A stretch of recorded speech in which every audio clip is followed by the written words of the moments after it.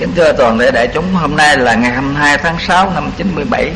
Chúng ta tiếp tục nghiên cứu và học kinh Pháp Hoa tới cái phẩm thứ 23 là Dược Dương Bồ Tát Bổn Sự kỳ thứ 55. Hôm nay tiếp tục trang 284 đại chúng để ý những cái đoạn này đây rất là cốt lõi của đạo Phật Bồ Tát hỷ kiến. Hỷ kiến tức là nhất thiết chúng sanh hỷ kiến. Đã dùng gỗ chân đàn làm vàng quả thiêu Rồi thâu xá lợi đựng vào 84.000 cái bình báo Xây 84.000 ngọn tháp cao ba thế giới.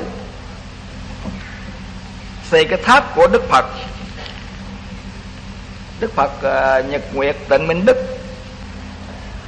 Bây giờ Bồ Tát lại tự nghĩ rằng cúng dường xá lợi như thế chưa đủ. Bèn ở trước 84.000 ngọn tháp Đốt hai cánh tay được trang nghiêm bằng tâm phước Suốt 72.000 năm.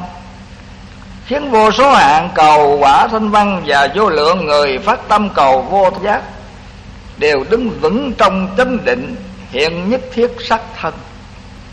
Ờ, Đốt hai cánh tay cúng dường xá lợi. Xong rồi.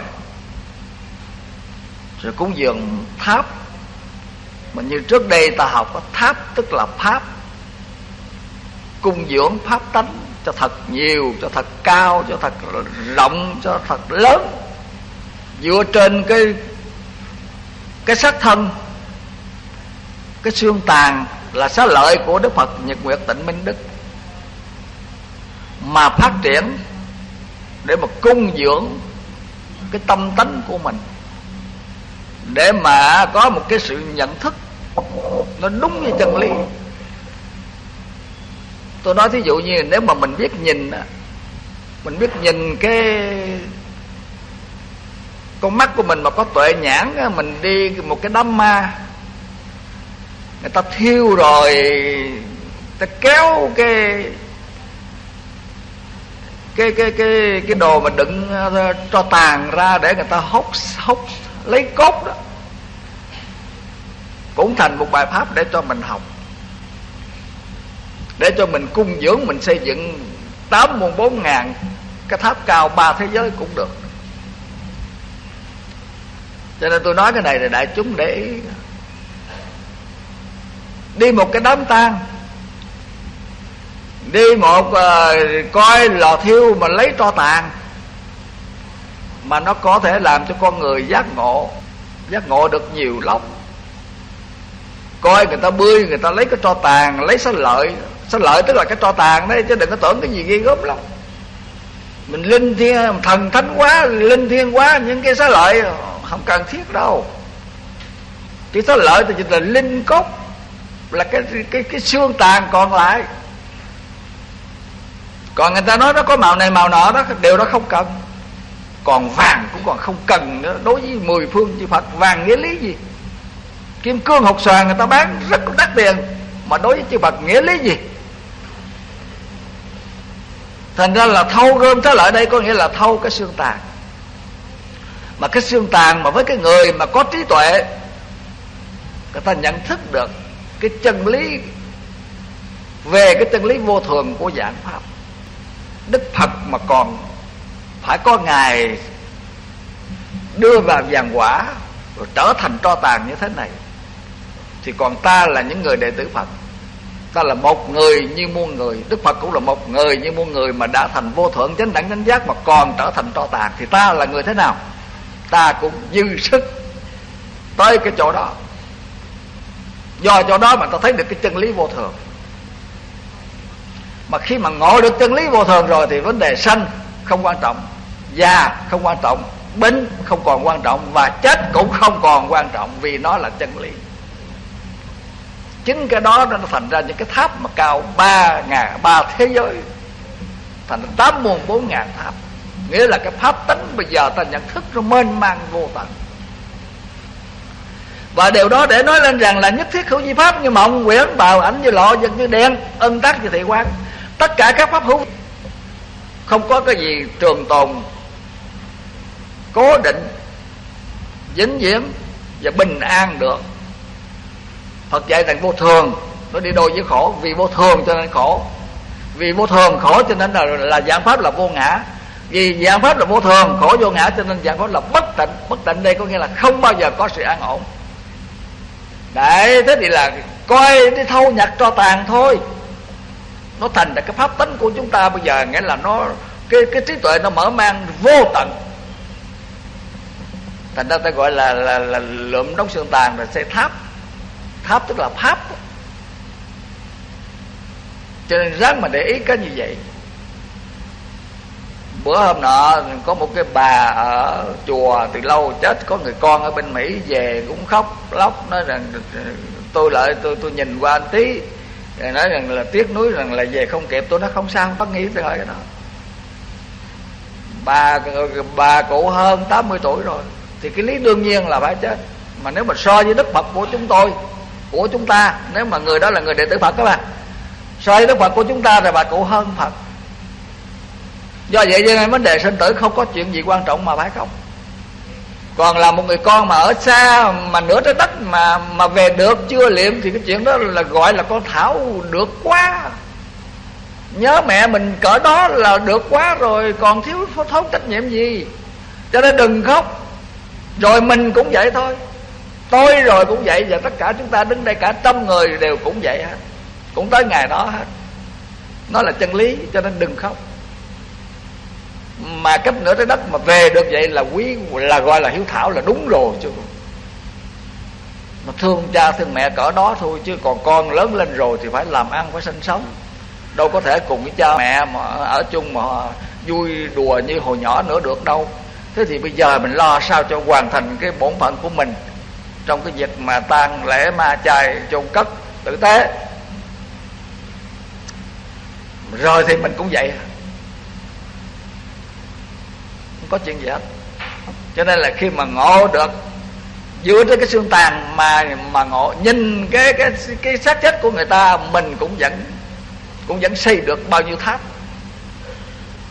Nghĩa là cái trí tuệ mình nó mở mang. Từ vô thường mà nó sinh ra khổ. Mà vì vô thường khổ cho nên sinh đây là, là ta thấy được cái tính chất vô ngã của dạng pháp. Vì vô thường khổ vô ngã cho nên ở trên cõi đời này đều là bất tỉnh đều là không an ổn do chỗ đó mà mình mình mình trao dồi cái thân tâm ờ, cái tâm hồn mình cho nó có cái sự tỉnh thức. Do vậy mà cái đời sống của mình nó có cái an lành, cái tự tại giải thoát ở trên cõi đời.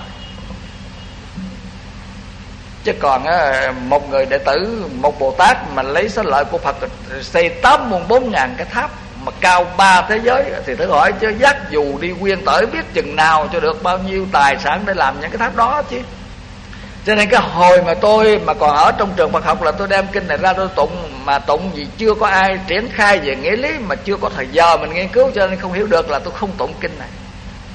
Tôi cho rằng là nói chuyện nó, nó thuộc về quan đường mà thậm chí tôi cho là nói chuyện nhẩm với ba láp nữa cơ. Là tại vì mình không hiểu. Vì mình học còn cái kiểu tiểu học mà mình đọc những cái sách những cái triết lý của những người đại học thì mình không hiểu được hiểu được cái cái tư tưởng, cái sâu sắc của những người trình độ đại học. Cho nên hồi nhỏ mình chê. Còn nếu người phật tử của chúng ta mà không có đi sâu vào nghiên cứu thì đọc mình nghe nó cũng nhảm nhí, giống như quan đường vậy. Nhưng mà kỳ thật ra là văn dĩ tải đạo, nó chở cái triết lý sâu xa trong đó. Là đã nói xây tháp thì kỳ thật không phải. Không cần xây tháp. Bằng thất bảo cũng không cần vì sao vậy? Vì dầu là thất bảo, dầu là vàng bạc. Lưu ly malaysia cười thích châu đi nữa, cũng là pháp hữu vi. Qua cái nhìn của tội nhãn là những cái pháp đó đều không có gì quý giá. Tất cả đều là đều là duyên sanh đó mà. Mà duyên sanh thì nó như quyển. Nó là vô thường, nó là vô ngã, giống nhau. Kim cương cũng không phải gì, nó là kim cương mà nó được vĩnh cửu. Vàng nó cũng vậy thôi, nó vĩnh cửu là so với những cái mà nó nó mau tan hoại. Thành ra là bồ tát cúng dường xá lợi xong rồi như thế mà thấy rằng chưa đủ.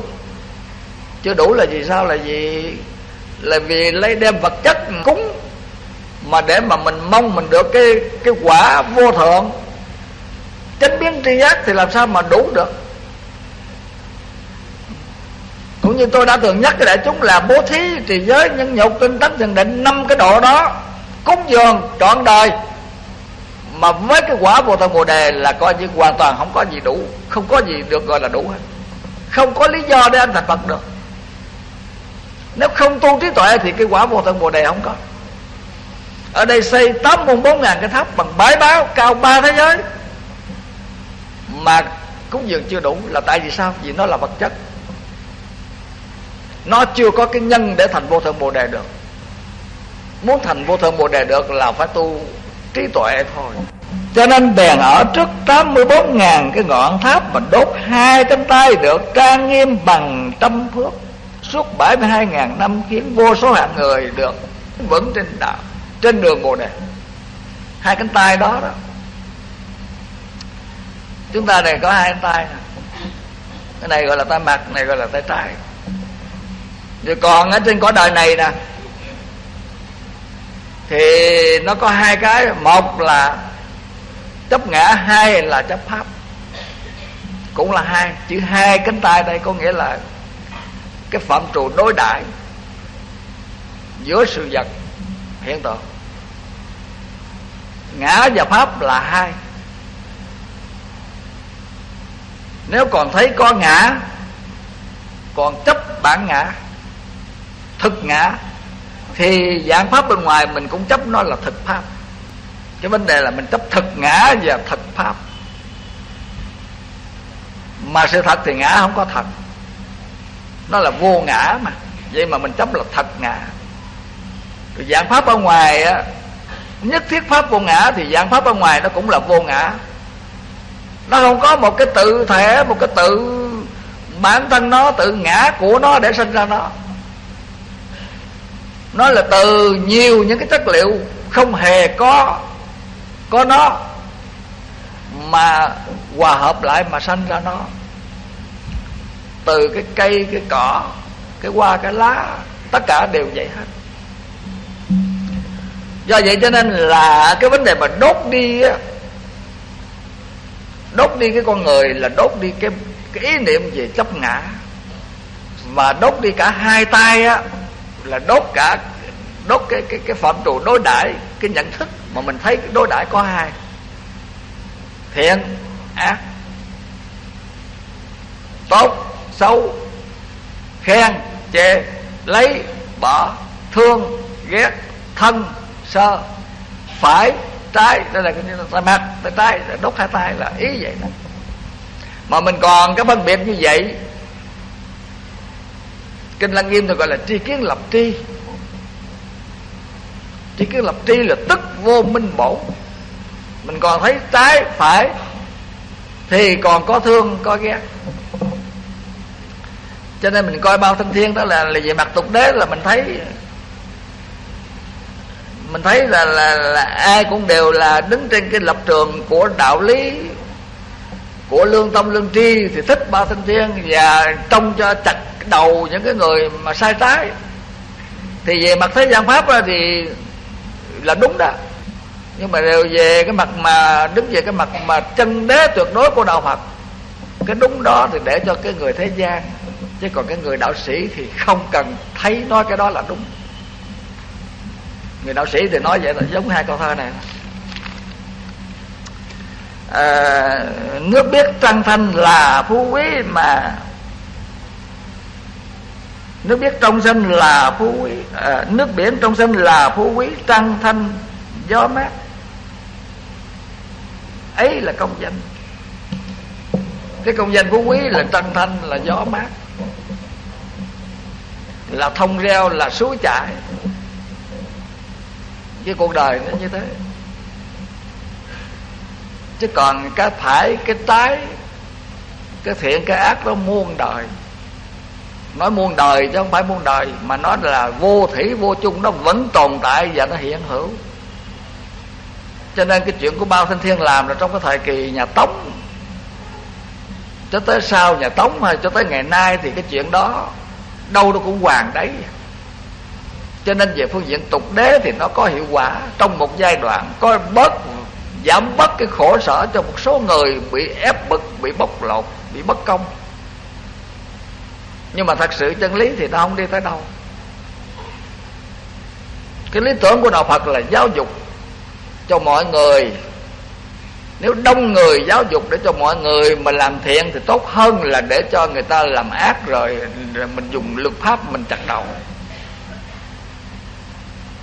cho nên về mặt tục đế thì là à, những cái của ba thanh thiên cũng đóng góp cho xã hội tốt. Nhưng mà nhìn bằng con mắt của tuệ nhãn, của phật nhãn thì cái đó thật. Có tam bất năng. Năng độ vô số, vô biên chúng sanh, như bất năng độ tận chúng sanh giới. Phật có thể độ chúng sanh nhiều, Vô lượng vô số, đem lại sự an lạc cho họ. Nhưng mà không bao giờ trừng trị giết chóc họ Để hy vọng rằng họ làm cái thế giới của họ Của họ thành thiên đường Thành cực lạc, thành niết bàn. Không, Phật không có cái Cái mong muốn đó. Vì mong muốn như vậy là mong muốn sai chân lý rồi. Hãy lúc nào mà còn sáng là lúc đó sẽ có ban đêm. Còn ban ngày thì là cái thời thời kỳ đó phải có ban đêm. Có tốt thì phải có xấu cho nên là là cái người mà tu theo đạo Phật thì nó có cái nhìn khác hơn là nhìn của người thường. Coi thì coi, nhưng mà coi rồi có ý niệm khác. Tôi nói thí dụ như chủ nghĩa cộng sản rất đẹp đấy chứ. Đối với tôi mà chê chủ nghĩa bác lenin là tôi không chịu. Dù là mấy người nói tôi là bao nhiêu người nói tôi là quốc dân, là tôi là là cộng sản gì đó. Là ta nói thì ta nói, chứ còn tôi cho là cái chủ nghĩa đó không phải là xấu cái lý tưởng mà mọi người gì mỗi người mỗi người vì mọi người đâu phải là lý tưởng xấu. Cái lý tưởng mà làm tất cả mọi người cùng làm, rồi cùng ăn, rồi cùng ở, cùng mặc đâu phải là xấu. Chỉ có cái điều là làm không được rõ ràng. Làm không được rõ ràng là gì? Là là con người mình không thế nào mình làm cho người ta bằng nghiến được. Ai cũng siêng năng giống nhau. Ai cũng cần cù, ai cũng coi của quốc gia, tài sản quốc gia như của riêng của mình để làm cho cái đất nước thùng phồn vinh cho tới nỗi cái mức mà giàu có mà cái người không làm được cũng hưởng. Y như quyền lợi của người giỏi giang vậy. Cái đó chẳng qua là lý tưởng. Cũng giống như lý tưởng vô thượng niết bàn của của đạo phật ta vậy đó. Không phải là không làm được. Nhưng mà cái người làm được để dành riêng cho một một ít người nào đó có đủ điều kiện đi trên con đường bồ đề nước bàn thì có, chứ không phải là không. Nhưng mà không phải vậy do vậy cho nên đạo phật của chúng ta học thì học, mà ta phải nhớ rằng ta ở trong cái thừa nào của ngũ thừa. Để ta tìm cái sự an lạc của ta ngang trong cái thừa đó chứ ta không được nghĩ lan bạc. lý tưởng cộng sản cũng vậy. Lý tưởng đẹp lắm. Nhưng mà làm không nổi, mà làm không nổi thì bây giờ phải tuột lại, gọi là xây dựng xã hội chủ nghĩa chứ sao? Cho nên nó cũng giống như đạo phật à. đối với cái cái con mắt của tôi mà tôi nhìn đó mà, không có lạ lùng. nữa bây giờ mà tuột lại xây dựng chủ nghĩa xã hội thì cho làm tư nhân rồi ờ, kinh tế, năm thành phần rồi lần lần rớt rồi kinh tế thị trường. Thì nó giống như là nói cái chuyện ờ, vô thượng bồ đề thì nói, nhưng mà bây giờ đây tôi bảo rằng các phật tử cứ ăn mặn hết, thoải mái. Chỉ có cái điều là hạn chế được cái sát hại trong nhà mình, mà mình mua những cái đồ ngoài chợ mình ăn rồi thì ờ, vấn đề ăn á mà. Còn vấn đề mặt thì mình giữ gìn là bất sát, bất đạo, bất dâm dạ không ý ngữ lương thiện ác khẩu là là bất ẩm tử để để cỡ đó là đem lại cái an lành hạnh phúc cho nhiều người làm được. Còn cái đạo bồ đề vô thượng kia không phải người nào cũng được, phải để cho cái ông vua nhất thiền sư ở trong cái ông bao thanh thiên để cho ông làm, ông mới nói là trăng thanh là phú quý mà gió mát là công danh, để cho ông thôi chứ mọi người làm vậy sao cho được? Nhưng mà nhờ nói vậy mà bao miễn là bằng lòng chết cỡ đó an lành không còn sợ hãi. Thấy ghê chưa?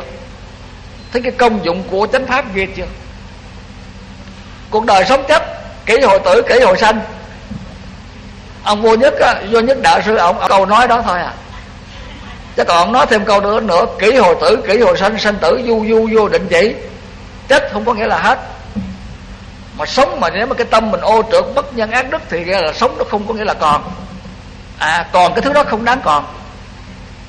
Bao thanh thiên đã từng nói khi mà là cái anh mà mà mà mà, mà gọi là lánh lánh cô độc lánh cô độc mà thấy rằng chân lý cuộc đời không có công bằng xã hội không có bình đẳng không có y chán sống y đâm bụng y chết tôi chết rồi là à, triển chiêu Trương Long trường Hổ nói dạ thưa bà đại nhân cái anh này anh anh, anh đã chết rồi. Ba công nói không phải là lãnh cô độc đã chết mà là ta đã chết.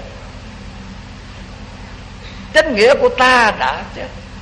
Như vậy nghĩa là người ta quan niệm cái sự cái sự sống mà không bảo vệ được cái chính nghĩa. Không bảo vệ được lý tưởng trong sạch của mình thì còn tệ hơn cái người đã chết. Người ta đã chết chứ mà người ta sống đó. Còn mình sống mà mình mình bê rạc mình bê tha, mình bất bình đẳng, còn ô nhục, còn tệ hơn cái người đã chết. Thành ra cái ý niệm của cái người tu nó có cái nhìn khác. Cái nhìn khác hơn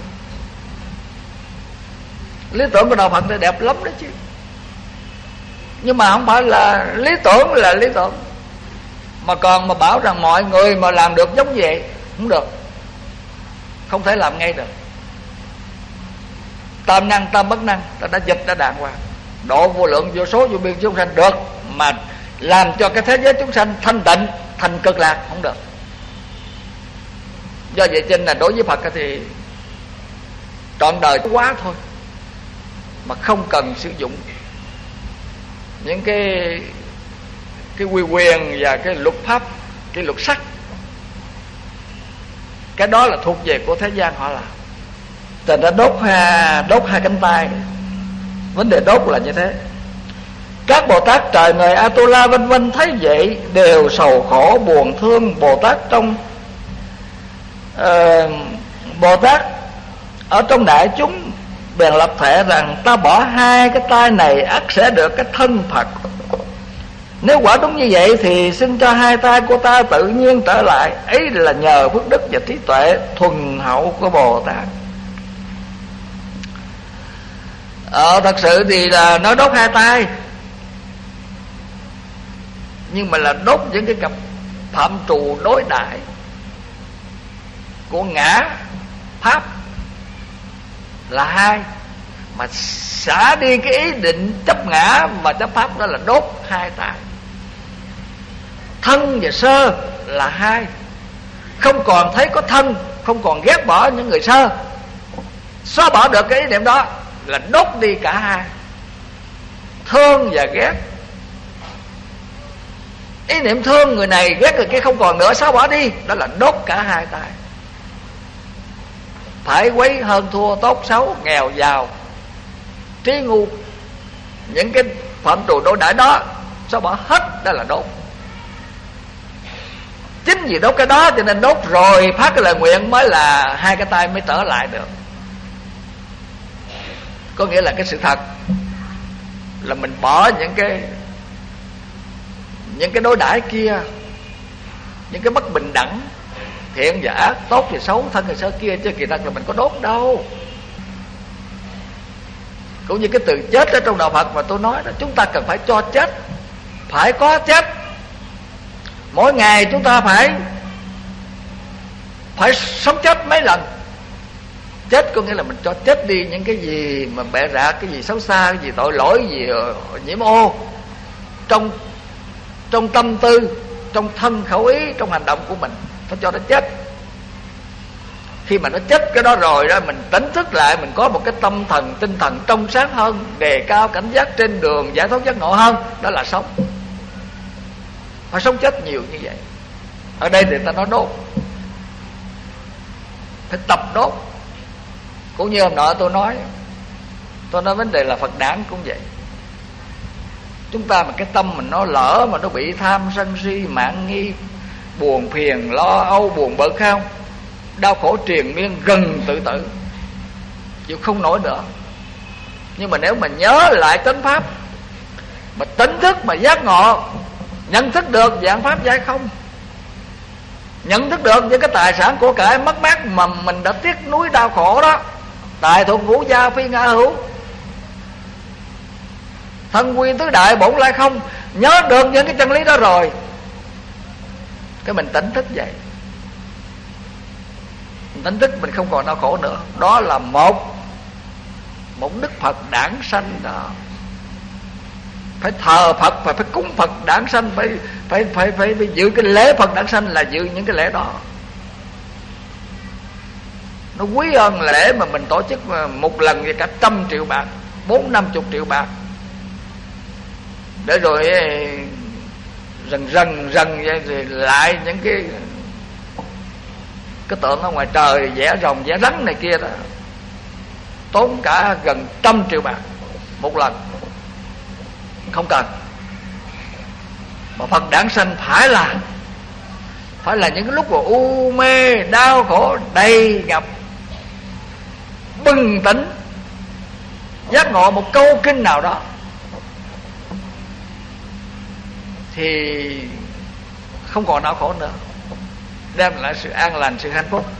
Đó là phật đản sanh rồi sự an lành hạnh phúc đó, mình được một ngày, hai ngày, ba ngày rồi, cái rồi eh, mình bị cái vô minh nó che lấp. Nó che lấp lại nữa, rồi mình đụng cái là eh, lợi quyền, danh vọng, địa vị nữa. Đó là phật niết bàn đó. Phật niết bàn, mà phật niết bàn thì người ta gọi là phật niết bàn là giống như là mặt trời không còn nữa.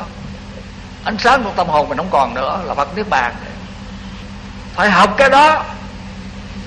Phải đi sâu vào những cái tư duy đó học phật mới có lợi. Cho nên là tôi thành thật, tôi nói, cách đây vài năm rồi tôi có thua với hòa thượng trưởng ban, tôi nói về bạch hòa thượng, có thể mình là 5 năm mình làm một lễ phật đản, có được không?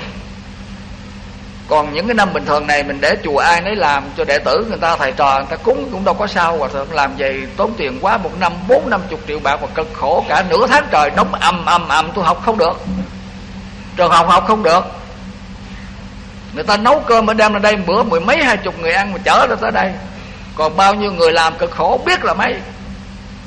Làm vừa đẹp rồi cái tối 13 cái trời mưa ầm ầm ầm rã trơn. 14 làm nữa. Làm nữa rồi cái rồi nữa đêm 14 mưa nữa. Sáng mặt mày phật trời rã rồi rồi lại mình lại mấy ông phật mà đau khổ là hôm á. Hết đau khổ là hôm á. Ông chưa hết tỉnh á ông chưa vui được là ông rầu rĩ rồi, mà mình lại mình lại ông. Thành ra là hòa thượng cũng có nói, có lẽ mình nên 5 năm mới tổ chức một lần. Và cái lần rồi đó, lần rồi đây đó là là có thể sau này sẽ đề nghị 5 năm mới làm một lần. Đông còn bằng không nữa là tôi không đi. Tôi nói vậy nó thẳng ra không đi. Phụ gì đó thì phụ, nói gì đó thì nói. Em út rồi tuổi trẻ thì cứ làm gì phụ thì tôi không cản. Nhưng mà đều bây giờ bảo tôi đi nữa, tôi không đi. Đảng sanh không phải đảng kiểu đó, hoài được. Đảng là khi nào cái tâm trạng ta u mê, đau khổ mà ta tỉnh thức được, ta sống an lành được, ta nhận thức được chân lý. Và ta làm cho phật ở trong mọi người đều đảng sanh, đều đều trong đời sống. Cái đó mới mới là cái lý tưởng của tôi. Còn cúng phật kiểu đó là không cúng mình làm cho phật đau khổ xong rồi, ta chưa tỉnh rồi, đó, tới sáng tới lại, cái gì? Phật ở đâu trong đó nhiều khi ông chạy hồi hôm rồi.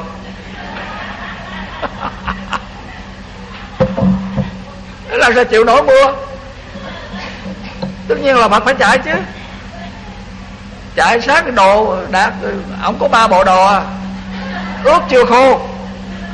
Sáng làm sao ra đó ngồi cho mình lại chứ cho nên tôi nói theo cái câu mà của lưu bị á, nhân chi tương tử kỳ ngôn giả thiện điểu chi tương tử kỳ thanh giả ai? Người sắp chết là lời nói lành. Chim sắp chết tiếng kêu bi thương. Thì tôi bây giờ thì là, là sắp chết tới nơi rồi thành ra có ngán gì đó thành nói vậy à. nếu mà làm hoài là không đi à. À, nếu mà làm nữa đó dầu là cử tôi chức gì là lột lúc nào cũng được chứ không đi nữa vì tôi quan niệm rằng trong đó không có phật đản.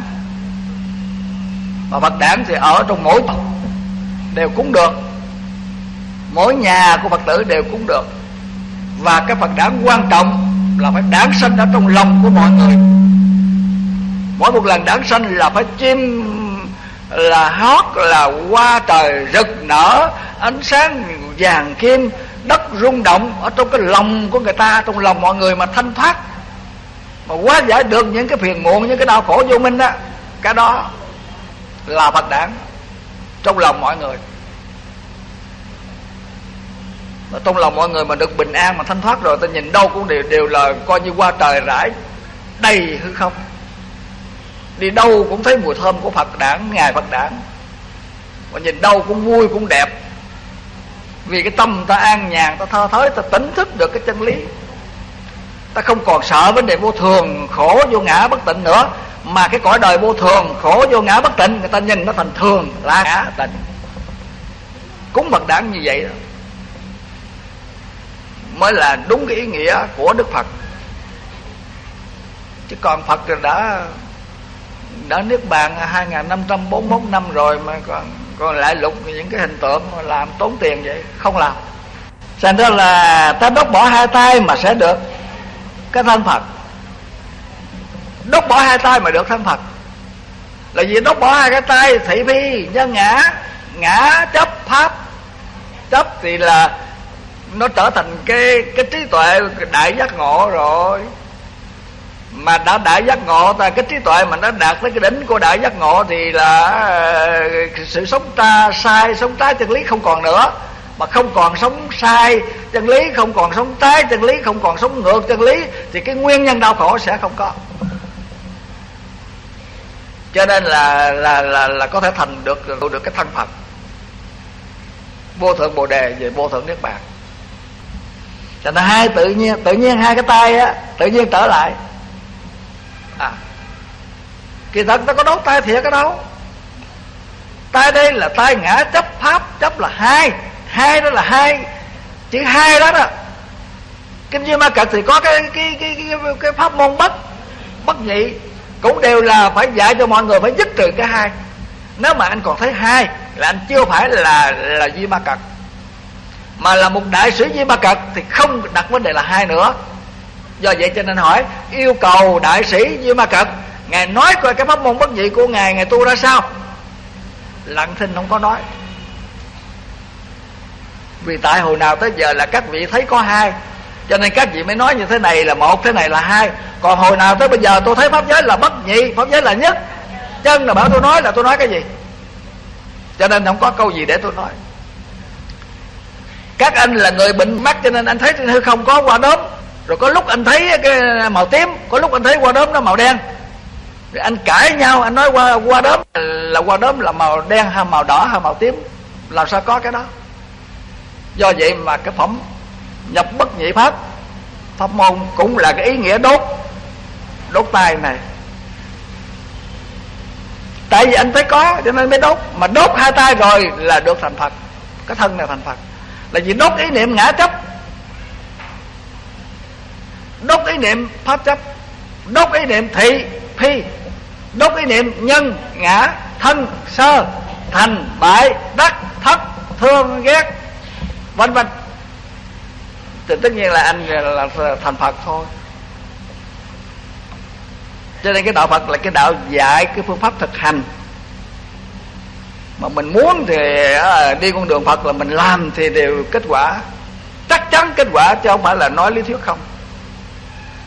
Chỉ có cái điều là phải ráng mà làm. Ráng mà làm cũng giống, giống như là học nữ công gia chánh rồi đó. Học thuộc rồi rồi phải mua đồ ăn về nấu. Mà nấu à, tất nhiên là nấu những cái mà gọi là nấu đồ ăn là phải đem ra ăn được. Chứ gọi là nấu mà mà bảo rằng đem cái đồ nấu ra ăn mà ăn không được, có nghĩa là không phải. Mình mình nấu không trúng. Không trúng không phải là nấu đồ ăn. Học chánh pháp, hành chánh pháp cũng vậy. Nếu thực hành học chánh pháp, có hành chánh pháp là phải có an lạc. Nếu không có an lạc, không có giải thoát cái đó không phải đạo phật. Học nữ câu gia chánh phải nấu. Mà nấu là đồ ăn nó phải ăn được. Nếu nấu mà gọi là đồ ăn mà không ăn được là cái đó không phải là là nấu thuộc về của nữ công gia chánh. Đức phật thích ca hỏi bồ tát tú dương qua ý ngươi nghĩ sao? Bồ tát khỉ kiến thuở xưa đâu phải người nào là? Chính nay là bồ tát dược dương đó. À, cái câu đó nhắc đi nhắc lại hoài để nói lên là kỹ hồi tử kỹ hồi sanh sanh tử du du vô định. Vô định chị. Vấn đề sống chết của chúng ta cái nhân của chúng ta ngày nay chúng ta còn có thể bồi nhảy lên cho tới ngày thành phật thôi. Không bao giờ mất. Bồ tát nhất thiết chúng sanh ý kiến hồi xưa bây giờ là bồ tát diệt dương. Du hí thần thông tự tại đấy. Được cái nhất thiết chúng sanh hỷ kiến hồi xưa mà tu tập bồi dưỡng riết cho tới ngày nay thành ra là là, là dược dược dương. Dược dương là một phương thuốc chúa, là trị tất cả thân bệnh, tâm bệnh của chúng sanh. Cho nên vấn đề sinh tử không sợ nữa. Các phật tử ráng mà tư duy mà để ý. Các vị mà còn sợ vấn đề sinh tử là các vị học phật chưa có thấm, chưa có thấm giáo lý đâu. Sinh già bệnh chết, dứt khoát là phải không còn sợ và những cái điều mình làm thiện không bao giờ mất. Ngược lại, những điều làm ác cũng không bao giờ mất như vậy. Cũng giống như cái chủ nghĩa mác lê triết học mác lê người ta nói rằng trên đời này không có cái gì mất. Bởi vì trên đời này tất cả đều là vật chất mà vật chất không bao giờ mất. Cũng giống như đạo phật nói, chẳng qua là cái ngôn từ, cái văn tự nó có khác, chứ không có cái gì mất.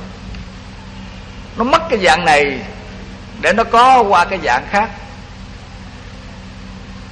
Nó chuyển biến nhau mà nó nó nó nó duyên khởi mà nó hình thành vô cùng vô cực không có cái gì mất. Mất làm sao được? Sống ngoài bong bóng bọt cột nước cao cả ba cái số. Những cái lúc mà áp thấp nhiệt đới gọi là rồng lấy nước. Nhưng mà nếu nó mất thì nó mất không? Có mất không? À, nếu qua cái cơn áp thấp nhiệt đới thì cái sống mỏng bóng bọt kể cả cục nước đó nó trở về cái mặt nước phẳng lặng của biển xanh. Như vậy có nghĩa là hiện tượng trở về bản bản thể. Từ mặt nước của bản xanh đó bốc hơi thành nước thành mây thành à, hơi à, để rồi thành mưa xuống mưa xuống thì người ta lấy nước ta làm ruộng này kia nọ còn cái nào lại bốc lên nữa trở ra trở thành mưa nữa xuống biển xanh nữa và những cái cột nước lên cao kia lặn xuống cũng trở thành nước biển xanh. Nếu qua cái cơn áp thấp nhiệt đới thì cái sóng mồi bong bóng bọt kể cả cột nước đó nó trở về cái mặt nước phẳng lặng của biển xanh. Như vậy có nghĩa là hiện tượng trở về bản bản thể. Từ mặt nước của bản xanh đó bốc hơi thành nước thành mây thành à, hơi ha, để rồi thành mưa xuống. Mưa xuống thì người ta lấy nước ta làm ruộng này kia nọ, còn cái nào lại bốc lên nữa, trở ra, trở thành mưa nữa, xuống biển xanh nữa, và những cái cột nước lên cao kia lặn xuống, trở thành nước biển xanh. Bốc hơi lên là mưa xuống. Trong sông, trong suối, trong nguồn kể cả người ta uống vô bụng, gọi là mất đi. Thấy giống như cái nước nó mất chứ kỳ thật không hề mất. Ai cũng biết nó còn ở đâu rồi. Nó còn, thậm chí nó còn mà đi đâu mình cũng sách theo mà nếu mà xách theo mà lâu lâu rồi mình có đổ xà xà xà rồi nó cũng còn ở đây chứ nếu mà thật sự nó mất đi là cái, cái con người nó khô đét ra không có sống nổi đâu. Nó còn giữ lại nó làm cho con người tư nhuận nên là cũng là cái nước nó còn đó. Cho nên không có cái gì mất. Ông ông ấy đã xả bỏ bố thí vô lượng vô số thân như thế này tú dân qua ai phát tâm muốn, muốn được cái đạo vô thượng mà đốt ngón tay hay là ngón chân cúng dường? Tháp phật còn hơn là người dùng nước dùng quất quốc thành thê tử vợ con cùng tân bảo trong ba ngàn đại thiên thế giới mà cúng dường. Ừ. Cúng dường bằng cái cách mà đốt đốt thân thể nó quý như vậy đó còn ai mà dùng bãi báo ở trong khắp cả ba ngàn đại thiên thế giới mà cúng dường Phật? Bồ Tát Dương Giác lớn cũng không có công đức bằng người thọ trì. Kinh Pháp Hoa chừng một bài kể bốn câu. Nói gì thì nói, Nhưng mà cuối cùng rồi cũng quy lại Tất cả những cái hiểu biết, Những cái phát tâm mà cúng dường sâu rộng ở trên đó Là tại vì nắm được nhận thức được cái chân lý của kinh, cái diệu lý của kinh pháp hoa. Cho nên mới làm được những cái việc ở trên. Trong đó có cái việc mà đốt thân cúng dường. Là do nắm được cái diệu lý của pháp hoa. Còn cúng dường từ cái đốt cả cả hai tay hay là đốt ngón tay cũng vậy. Ngón tay cũng là biểu lộ. Bắt đầu trong cái việc mà mình bắt đầu mình mình nhận thấy rằng cái bản ngã này là mình cần phải diệt nó đi. Chứ nếu như bây giờ thật sự mà mình đốt đốt tay, có người đốt tay đấy chứ. Quấn dầu đốt rồi cầm gì mà đốt rồi. Người ta gan, người ta làm cái điều đó được. Có người đốt rồi. Nhưng mà không có nắm được cái cốt lõi của kinh điển là cái đốt đó.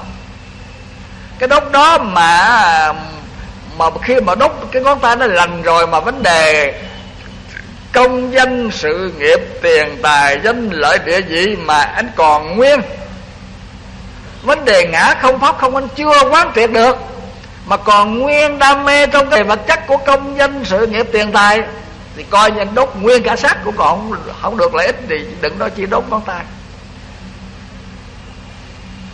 Ta đốt đây là ta đốt cái bản ngã mà đốt đây là đốt cái ngã sở hữu. Mà tại sao ta đốt? Đốt đây có nghĩa là ta thấy rằng cái ngã và cái ngã sở hữu, cái tính chất của nó là duyên sanh như như quyển. Vì duyên sanh như quyển cho nên ta thấy được cái tính chất giai không của dạng pháp.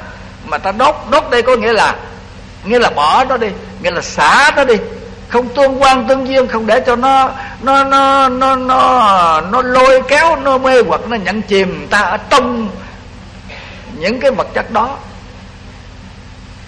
Chứ không nhất thiết là là cần phải đốt hai hai cánh tay hay là ngón tay, thậm chí cũng không cần tương quan gì trong vấn đề phải đốt cái mạng này. Cái này đối với dạng pháp nó có tội lỗi gì đâu mà phải đốt nó chứ.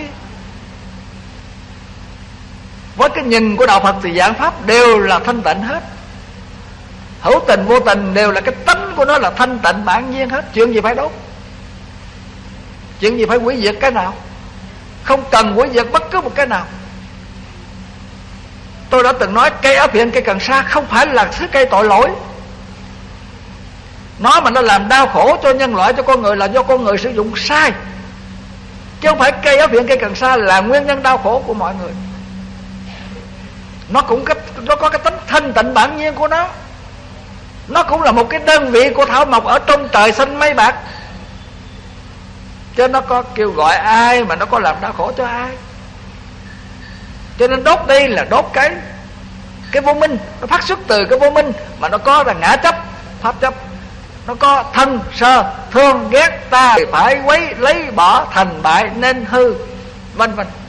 Đốt cái đó đó. Chứ không phải là đốt. Đốt cái xác. Xác này không có tội lỗi gì hết nếu cái xác này mà có tội lỗi thì những người bị xử tử hình rồi tất cả mọi người đều phải tử hình hết hay sao? Đâu có phải vậy. Người ta vẫn kiến thiết đất nước người ta vẫn xây dựng xã hội đẹp đẽ. Chỉ có người sống sai với luật pháp sống trái luật pháp. Mới sinh ra có cái tù tội cái tử hình chứ. Chứ nếu như cái cái cái, cái ở dưới ánh sáng mặt trời này mà là, là tử hình thì mọi người đều phải tử hình hết à? Đâu có vậy được. Cho nên vấn đề đốt, mình phải để ý là vậy đó. Không phải là đốt người để lấy phước.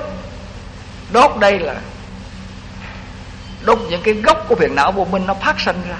Tối dương qua trong các dòng nước, biển là bậc nhất.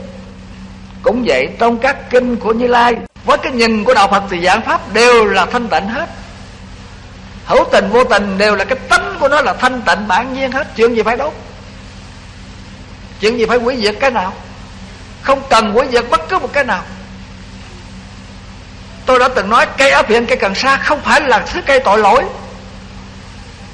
Nó mà nó làm đau khổ cho nhân loại cho con người là do con người sử dụng sai. Chứ không phải cây áp hiện cây cần sa là nguyên nhân đau khổ của mọi người. Nó cũng cái, nó có cái tính thanh tịnh bản nhiên của nó. Nó cũng là một cái đơn vị của thảo mộc ở trong trời xanh mây bạc chứ nó kêu gọi ai mà nó có làm đau khổ cho ai?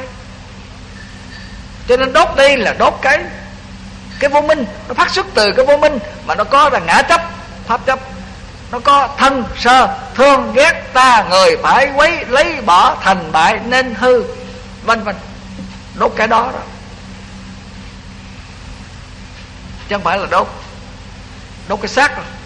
Xác này không có tội lỗi gì hết nếu cái xác này mà có tội lỗi thì những người bị xử tử hình rồi tất cả mọi người đều phải tử hình hết hay sao? Đâu có phải vậy. Người ta vẫn kiến thiết đất nước người ta vẫn xây dựng xã hội đẹp đẽ.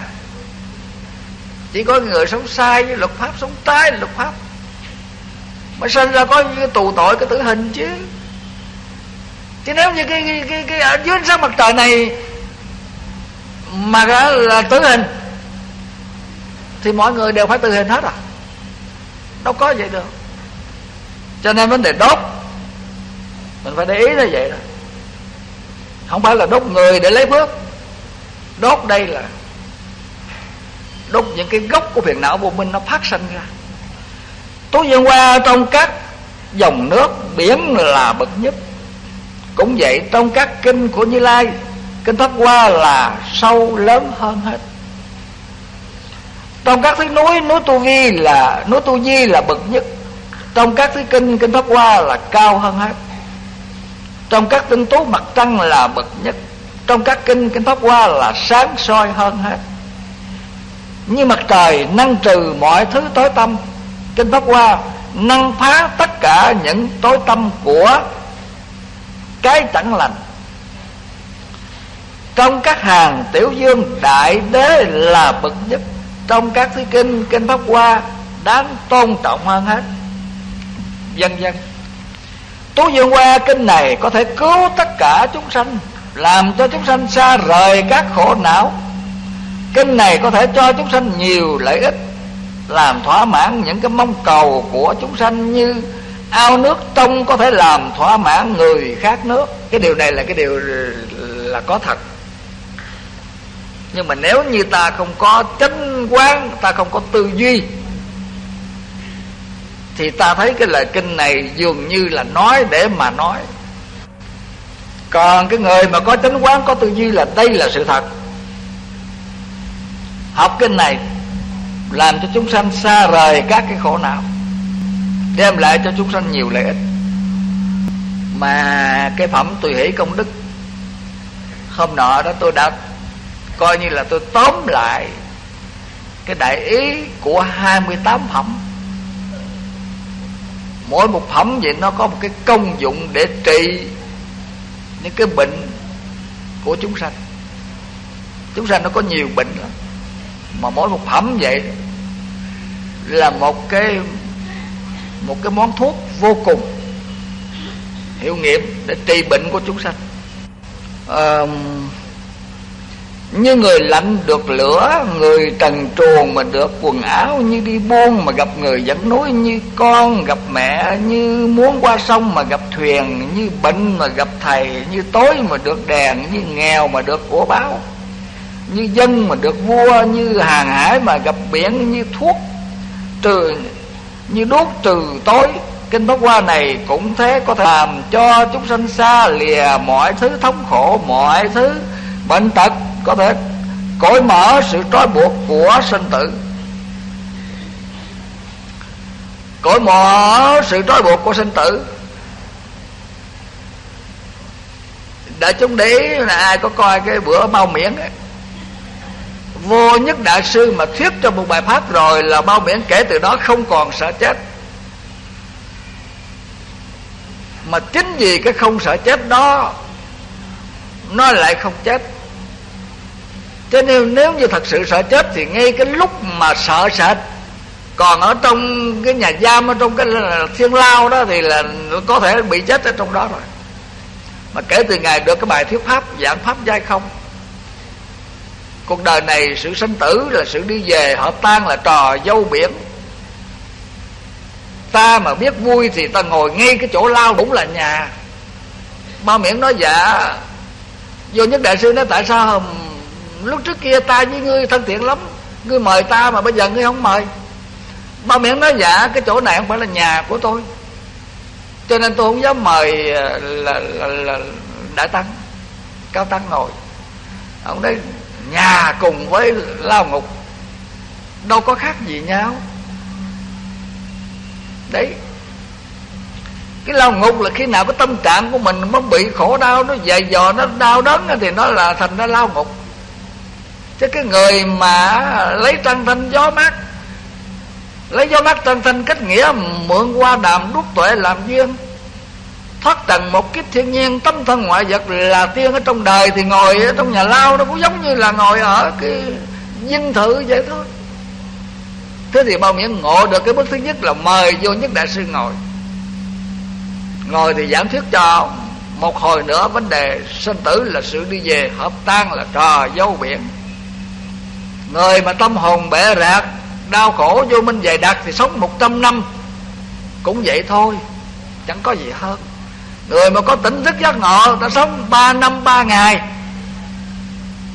Mà coi như ta sống vĩnh viễn. Thành ra rồi từ đó mà được giác ngộ. Thành ra cái cái việc tu hành là cái việc vậy đó. Phải nhận thức được xa lìa sự sinh tử là không sợ sinh tử, chứ không phải là không phải là tu theo pháp qua rồi. Rồi mình sống hoài không chết. Cho nên tôi xin nói với đại chúng, vị nào mà tu mà còn nói rằng là do do con tu hành, cho nên là Phật gia hộ và con có phước đức, cho nên là con sống năm nay được là 78 tuổi rồi mà con vẫn còn đi đứng mạnh khỏe sanh sắn mà nhờ Phật gia hộ cái đó không phải à.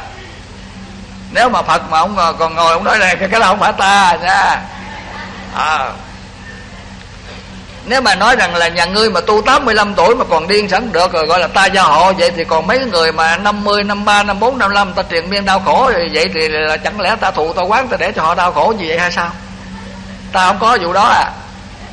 Cái vụ đó là cái vụ mà do nhân duyên nghiệp lực của phước báo của mỗi còn mỗi người mà sống mà chết. Nhưng mà dưới con mắt của như lai ta đây á, là chết 40 chưa hẳn là là xấu. Mà sống 80 chưa hẳn là vinh quang, là tốt đẹp gì. À cho nên là là nói rằng như lai phù phù hộ đó là xin xin như lai xin rút lui ý kiến à. Cho nên ở đây mà nói rằng là tu pháp qua mà xa lìa sanh tử, đây có nghĩa là sanh tử. Du du vô định định chỉ ta coi sự sinh tử như là sự đi sự đi về. Sanh, diệt diệt, sanh sanh sanh, diệt diệt. Mà cái người mà nhận thức được cái chân lý rồi, ta thấy diệt không hề mất, mà sanh không phải vì vậy mà có thêm ra. Tiếp thu cho được cái chân lý đó tư duy rồi là các vị thấy cuộc đời sống rất đẹp. Mà cái đó là gì? Nó phát xuất từ cái cái niệm mà mình nhận thức được cái chân lý vô thường của sự vật. Vô thường là một chân lý. Thế thì sự sinh già bệnh chết của mình nó là cái biểu hiện cụ thể của cái chân lý vô thường. Mà mình còn sợ thì còn gọi là là là giác ngộ chân lý ở chỗ nào. Cho nên gọi là người giác ngộ chân lý toàn diện như đức phật là cái người không bao giờ sợ sự vô thường cho nên vấn đề sinh già bệnh chết giàu có, nhưng mà coi như không có gì. Cái đó là cái khó nghe đó. Bởi vì cái người cái người phàm, người thế tục và ai cũng quý trọng cái mệnh sống. Là tất nhiên là người đạo Phật cũng phải là là muốn quỷ diệt mạng sống. Nhưng mà người ta chấp nhận cái chân lý vô thường là chân lý thì vấn đề sanh già bệnh chết bình thường. Gọi là người giác ngộ chân lý, người thể nhập chân lý phải học cái đó thôi à. Thoát ly sinh tử là cũng là thoát ly cái ý niệm sanh sanh tử tử sanh. Chứ không phải thoát ly sinh tử là tu đạo phật rồi, người này sống mãi, không có đâu. Cho nên tôi nói cái câu ở sao có tháp đây nè. Chư hành vô thường thị sanh diệt pháp, sanh diệt diệt dĩ, tịch diệt di lạc. Tất cả các cái pháp trên thế gian này, ta gọi nó là hành pháp hành pháp nghĩa là cái pháp của trên thế gian này không có cái pháp nào mà nó đứng khư cứng khư một chỗ. Nó cố định nó bất động nó tồn tại vĩnh cửu được. Mà luôn luôn là trong cái quá trình sanh trụ dị diệt sanh trụ dị diệt cò à, ờ, thành trụ hoại không sinh lão bệnh tử đều gọi là hành pháp. Các hành pháp đều là vô thường. Nó là vì nó là pháp sanh diệt. Vì là sanh diệt cho nên nó là vô thường quan trọng là cái vế thứ hai. Sanh diệt diệt dĩ, tịch diệt di lạc. Người đệ tử phật phải diệt đi cái ý niệm sanh. Sanh diệt thì các ngài sẽ có cái an vui tịch diệt. Nghĩa là đừng sợ. Phải diệt bỏ niệm sợ sanh, mừng sanh và sợ sợ diệt thì sẽ có cái an vui tịch diệt. Cái an vui đó là cái an vui nghĩa là từ ngày nào, như ngày nào không có cái lúc mất không có cái lúc sanh. Vì mình chấp được, chấp nhận được cái chân lý, thể nhập được cái chân lý vô thường, sanh diệt rồi. Thì giàu sanh, không thấy có gì vui hơn, mà giàu diệt cũng có gì đau khổ. Chỗ đó là cái chỗ sâu của đạo Phật. Chứ mà mong cầu sống sống mãi là do Phật gia hộ, cái đó không phải nếu Phật gia hộ, thì bản thân ngài ngài cũng gia hộ cho ngài. Sống mãi chứ so với cái thời gian dài vậy, mà có người thời kỳ đó, có người ta sống một trăm mấy chục tuổi. Còn đức phật là một đấng như lai, pháp vương vô thượng vậy mà sống có 80 tuổi. Tại sao mình không gia hộ mình? Vậy là mình kém phước lắm ư? Không phải. Không phải vì 80 tuổi chết mà kém phước. Không phải vì một trăm hai chục tuổi mà gọi là phước đức trí tuệ nhiều con rùa ở hồ hoàng kiếm bây giờ còn cái xác 500 năm. Mà đâu phải là gì con rùa nó hơn cái phước báo của con người đâu. Tôi muốn nhắc đại chúng để ý mà tư duy về cái chân lý. Tối Dương qua ai nghe phẩm Bồ Tát Dược Dương bổn sự này Cũng được vô biên công đức. Nếu là đàn bà thì sau khi dứt cái báo thân Không còn trở lại làm thân đàn bà nữa? Năm trăm năm sau Phật diệt độ Người nữ nào nghe kinh này mà tu hành? Đúng theo lời kinh dạy Thì khi mạng chung được giảng sanh Nơi thế giới thanh tịnh và an lạc. Sau khi mạng chung là nói vậy Chứ còn cái vấn đề mà Vấn đề sống chết đó, trong đạo Phật là tôi có nói rồi đó. Nó còn một cái thứ sống chết Là biết bất tư nghị biến dịch sanh Sanh tử. Ngay nơi cái niệm trước đau khổ mà tỉnh thức được, nhận thức được chân lý là là là chết rồi đó. Là cái mạng cái mạng mà mình đang sống với cái phiền não khổ đau đầy ấp đó, nó đã chết rồi. Nó sinh ra một cái thế giới thanh tịnh liền. Mạng chung nó có hai thứ. Mạng chung của phần đoạn sinh tử thì nó có thể 60 năm 80 năm còn cái chết mà gọi là cái chết bất tư nghì biến dịch sinh tử này là cái mệnh chung của phiền não vô minh mà ngang đó mình cắt đứt được. Thì mình sống trở lại cái giờ phút ngay sau đó, mình có an vui, mình có thanh tịnh, mình có hạnh phúc, mình có tự tại giải thoát. Ta gọi là mệnh chung đó là mệnh chung của bất tư nghì biến dịch sanh sanh tử. Do vậy cho nên là ta ta ta tu hành, ta phải cho chết. Phải cho chết trong ngày nhiều lần chết, nhiều lần sống. Đọa địa ngục cũng các vị mà đọc kinh địa tạng đó, trong trong kinh địa tạng nó là nhất nhật, nhất dạ dạng tử, dạng dạng sanh đó.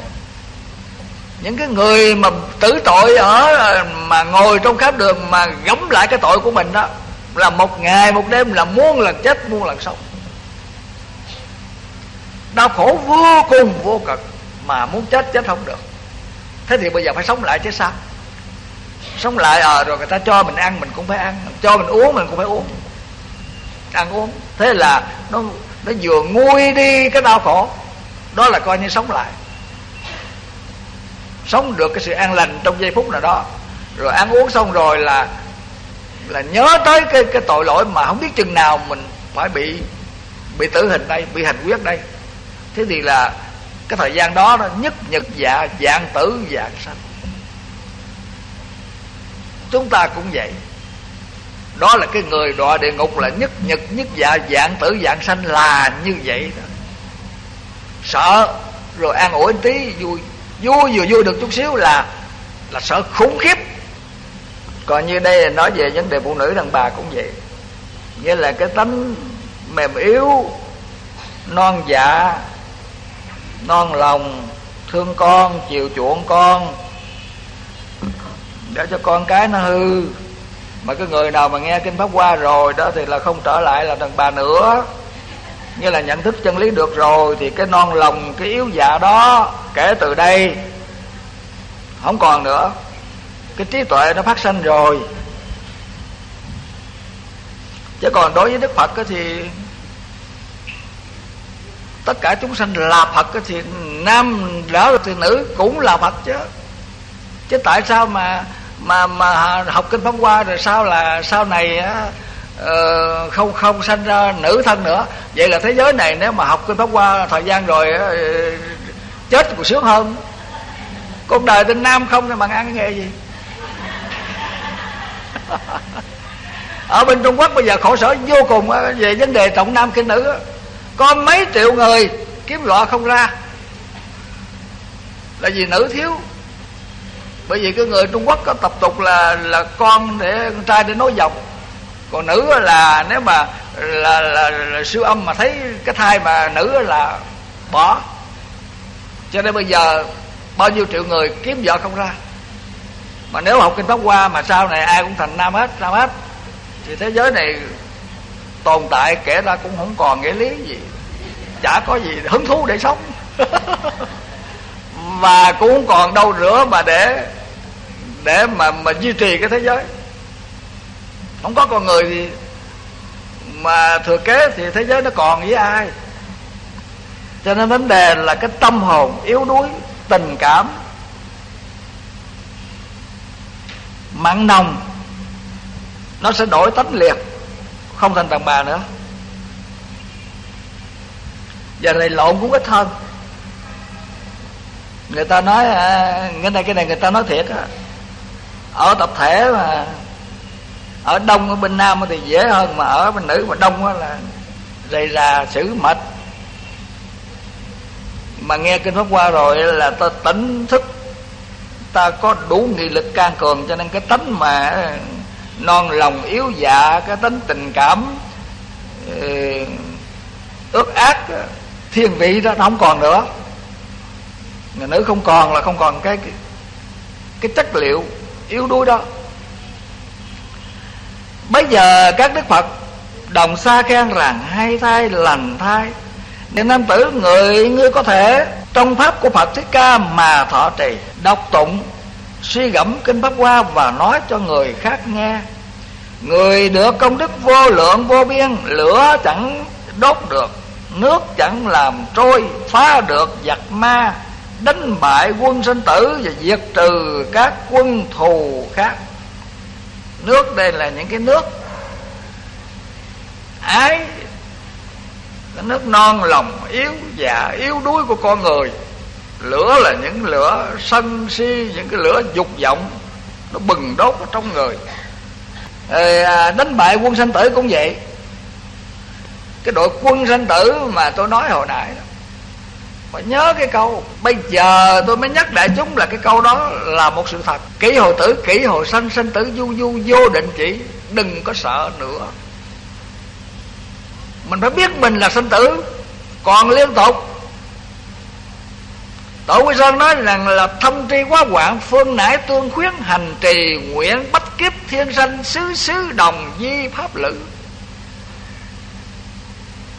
Tôi biết rằng cuộc đời này nó nhiều cái bực bội Cái khổ đau lắm. Cho nên tôi mới là, là viết cái văn cảnh sách này Để nhắc nhở mà tu hành với nhau. Và nguyện tâm muôn đời nghìn kiếp Sinh đi sinh lại chúng ta gặp nhau Đồng là pháp lữ với nhau những cái điều đó là mà xét cho kỹ là các vị đừng có bao giờ sợ chết mà mất đi đâu. Chết không có mất. Sinh diệt ký diệt tịch diệt hiện tiền. Ý diệt cái ý niệm sinh diệt thì sẽ được cái vui tịch diệt. Vì mình biết rằng mình không có mất. Phải lập cái trí như vậy. Lẽ tất nhiên là tôi đồng ý với tất cả mọi người rằng là nếu mà mình, cái ngày mà mình bỏ cái xác thân mà nó hơi vất vả cái bệnh mà nó trầm kha đó, thì cái đó cũng có đáng lo, đáng buồn thiệt đấy. Nhưng mà mình cố gắng, mình cởi mở cái tâm hồn cho thật, rộng rãi cho phóng khoáng, thì tôi tin rằng là cái ngày mình bỏ cái cái xác thân này, nó có thể nhẹ nhàng hơn. Còn nếu cái tâm của mình mà khó đó nha, cái tâm mà thật khó về nhiều mặt á, thì có thể bỏ xác thân cũng khó. Cho nên tập cõi mở. Ai nghe phẩm dược dương bổn sự này mà biết tùy khen ngợi người đó trong đời hiện tại, miệng thường thoảng mùi thơm qua sen và các cái lỗ chân lông thường tiết cái mùi trầm. Cái này là ý nói rằng là cái kinh này là kinh diệu pháp liên hoa. Mà nghe cái kinh này mà bằng lòng mà tùy hỷ mà khen ngợi. Thì cái lời nói của cái người này đều đem lại lợi ích cho mọi người và mọi người thích nghe vì đem lại sự an ổn cho người ta. Cho nên là cái, cái ta nói cái miệng nó thường thơm và cái thân á, là thường có cái mùi mùi mùi cũng là mùi thơm. Là ý nói rằng cái người này là người ta thích gần gũi mà người ta không có chán, ta không có lánh xa. Còn nếu như mà cái tâm tánh của mình xấu xa, chân lý của kinh điển thì mình không hiểu, tâm tánh ở đời mà mình tệ nữa, thì thật sự miệng mình đánh răng vẫn là các thứ kem thượng hạng. Nhưng mà lời nói người ta không nghe. Lời nói không có uy tín. Và cái thân mặc đồ đẹp, đồ thơm, nhưng mà người ta biết cái ý của mình không tốt rồi, người ta không có dám lại gần giống như là cái người hôi tanh như quế ý kinh là ta, ta nói như vậy. Tú Dương qua ta giao phó cái phẩm dược dương bổn sự này cho ngươi. Năm trăm năm sau khi ta diệt độ Phải đem ra truyền bá nói rộng ở cõi diêm phù đề Và đem sức thần thông mà giữ gìn. Vì đây là phương thuốc hay cho người bệnh thế gian. Ai bệnh mà nghe được cái này Thì cái bệnh liền tiêu diệt, chẳng già, chẳng chết. Chúc cha. Mấy cái đoạn này nghe rất dễ Dễ mê tín. Cái phẩm dược dương này là phương thuốc chúa. Là nói cái sự tích của dược dương. Mà dược dương trước kia là nhất thiết chúng sanh hỷ hỷ kiến. Một vị bồ tát mà ai thấy cũng đều quan hỷ, đều vui mừng từ vô lượng xa xưa kiếp trước đã từng là người ai thấy cũng đều quan hỷ, cũng đều vui mừng rồi. Rồi bây giờ đây mà trên cái đường tu hành mà thành tựu được cái công đức lớn lao như vậy, mà ai mà nghe kinh này mà phát tâm, mà tinh thọ tu hành như vậy, thì rõ ràng là cái người này á, sẽ trừ được cái bệnh cái bệnh mà trong tất cả cái thứ bệnh bệnh về thân thì là có thầy thuốc rồi, không có đáng kể. Mà cái bệnh mà làm cho con người khổ là cái bệnh tâm. Cho nên nghe cái kinh này là sẽ trừ được những cái bệnh cái bệnh tham, cực tham. Tham, cực tham khổ lắm. Cực sân cũng khổ lắm. Cực si cũng khổ lắm chữ si tôi nhắc đại chúng chữ si là khó hơn hết. Tham nó biểu lộ ra lòng tham. Người nào cũng có khả năng nhận thức được cái tánh tham của mình. Nếu có học Phật là mình khởi cái niệm tham là mình biết được. Mà nếu mà người có học Phật, khi mà mình khởi cái niệm sân hay người khác khởi niệm sân mình biết được. Nhưng mà cái si á, của người khác si mình có thể không hề biết. Và chính mình si mình cũng không hề biết. À cho nên để ý si là không có trí tuệ. Cái người không có trí tuệ mình làm những cái việc phải mình không biết là phải. Mình làm cái việc trái mình biết là trái. Mình làm cái việc mà cái hậu quả nó xảy ra ghê gớm đau thương mà mình cũng không biết nó là có cái hậu quả ghê gớm đau thương. Tôi nói ví dụ như giờ mình làm cái nghề bán áo việt, hiện giờ mình thấy là mỗi ngày ra bao nhiêu triệu đó chứ nhưng mà cái đó si đó nha cái bệnh si ở trong người mình mình không có hay. Mình chỉ thấy cái lợi trước mắt. Mà cái quả máu chảy đầu rơi, mình không biết. Cái mà làm giàu, mình lấy tiền của ta hàng tỷ tỷ tỷ tỷ. Trời ơi, tôi nghe, tôi đọc báo mà tôi nghe hai ông giám đốc của ngân hàng nhà nước. Mà cho vay hàng hàng mà hàng mấy trăm tỷ, mấy trăm tỷ.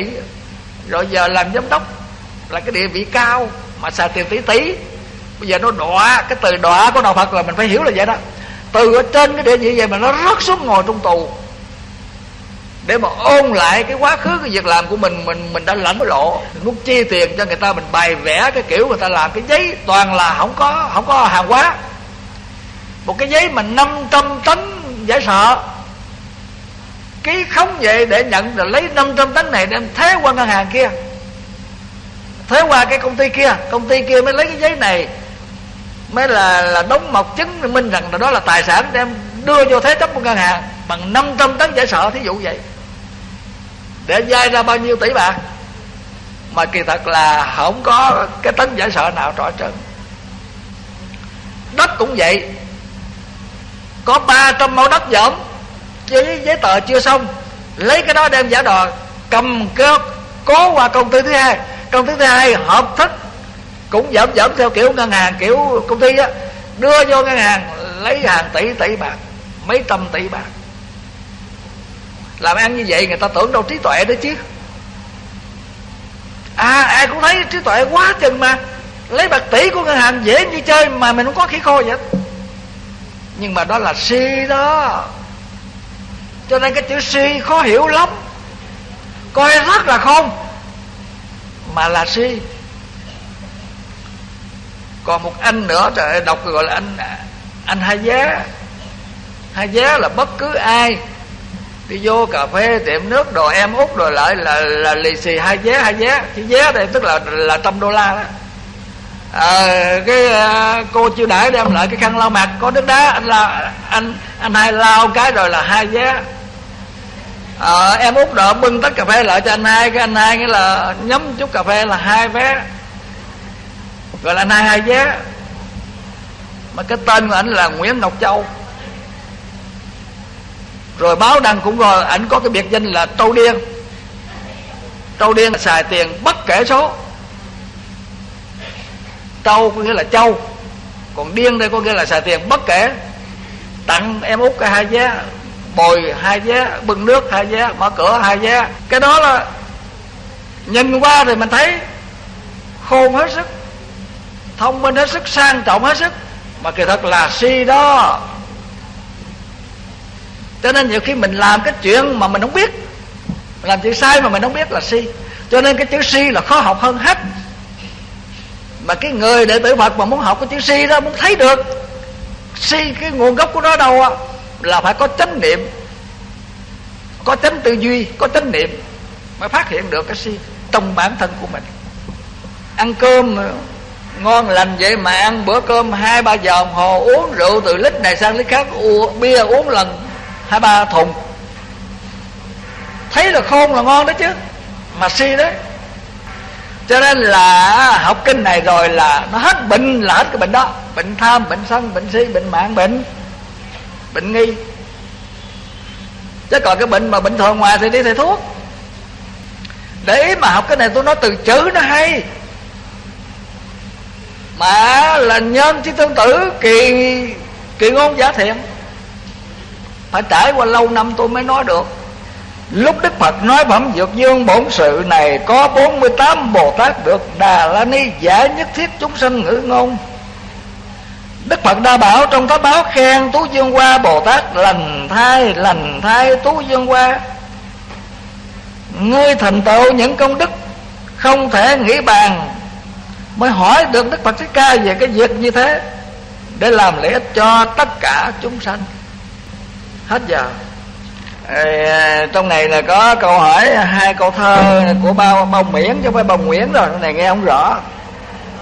Bao thanh thiên xử án bao miễn bao miễn là cháu kêu cậu ba. Nước biển trong xanh là phú quý trăng thanh gió mát là công danh cái này có gì đâu khó.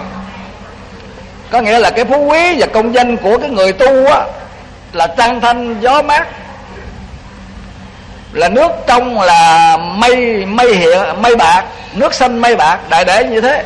Nhìn nước xanh, mây bạc. Nhìn trăng thanh, gió mát là công danh, là phú quý. Chứ cái người tu hành á, người ta không có lấy cái à, tiền bạc mà hàng ngàn ngàn à, Ờ, hàng hàng năm ba trăm tỷ ờ, cả ngàn tỷ, giống như mấy cái ông mà mà bị bắt ở tù á. Cái công danh phú quý kiểu đó thì cái người tu hành ta không có chấp nhận. Công danh để rồi vào khám phú quý để rồi cẩu đầu đau.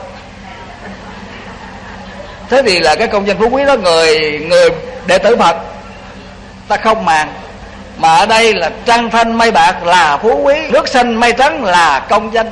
Đại đệ đó. Cái đó mới là có an lành. Cái đó mà có thể có hạnh phúc tuyệt vời.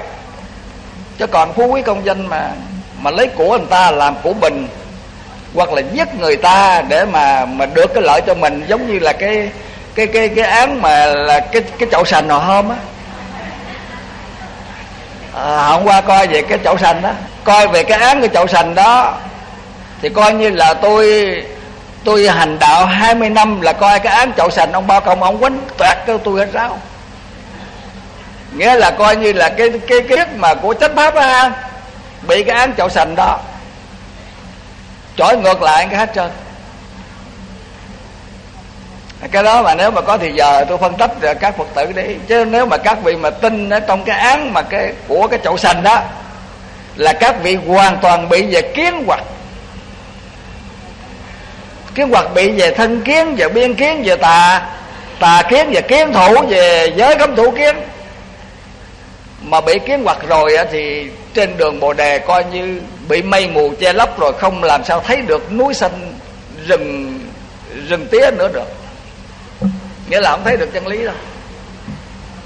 Cho nên coi bao thanh thiên nó có lợi mặt này, mặt kia, mặt nọ mà cũng có thể nó có những cái độc tố, mà những cái người mà học đạo, mà đạo Phật mà không có sâu và không có nắm được cái tránh cái tà đó, thì vẫn có bị cố nó tác hại ghê gớm. Giống như mình ăn rau hàng ngày, ăn rau là rất bổ, nhưng mà cái rau mà nó có cái thuốc sâu, thuốc rầy, thì cái rau đó người ta trúng thật rất là nhiều, thậm chí chết người. Thì mình coi phim coi ảnh cũng vậy chất bổ có mà chất độc cũng có. Ờ, coi cái tuần mà cái chậu sành đó cái vợ đó đó tôi tôi tưởng tượng tới bao nhiêu người quen của tôi. Tôi ở nhà ở trong am thôi mà tôi biết bao nhiêu người quen của tôi bị ăn độc tố đó không phải là ít. Rồi đây người ta sẽ chết thì không, không dám thiêu nữa mà. Cái thiêu là bây giờ là cái mà rất là tiện lợi ha nhưng mà kể từ coi cái cái chậu sành rồi là không dám thiêu. Vì trong đó nó thiêu rồi, cái rồi cái cái cái tro đó đem nắng nắng cái chậu sành, cái rồi à, cái hồn xác đó ở trong chậu sành mà không đi đầu thai được. Thế thì nó làm cho người ta sợ về vấn đề thiêu. Mà người ta không nghĩ rằng nếu mà chôn đi nữa thì nó nằm ở trong cái đất lạnh đó rồi nó cũng không đầu thai được. Người ta không lý luận vậy được. Nếu như cái tro tàn mà ở trong cái chậu sành mà không đầu thai được thì cái xác thối nó nằm ở trong cái quan tài, nó ở dưới đất lạnh thì tại sao nó lại đầu thai được? Mà người ta đâu có lý luận vậy được. Rồi thiêu, sợ nóng thì tại sao lại nằm ở dưới bùn lại không lạnh? Vậy mà người ta đâu có lý luận được. Mà lý luận không hiểu như vậy nghĩa là không hiểu được chân lý. Tất nhiên là là kiến hoặc tức là sai lầm về hiểu biết. Cho nên là tôi tôi nói cái này rồi đại chúng để ý về là tư duy lại về cái kiến hoạch. Hay vô cùng. Quyền giác thiền sư nói rằng khí hữu trúc vô, bệnh diệt nhiên, thí như tị nịch, như đầu quả. Nếu anh chê cái sự vật hiện tượng trên đời này là có, mà anh đi tìm cái tâm tư, nguyện vọng, cái đầu óc anh gửi vào cái chỗ không mà anh cố tính chạy cái có này để đi tìm cái không, là anh tu hành không có được cái lợi ích gì hết nó cũng là một thứ tham vọng.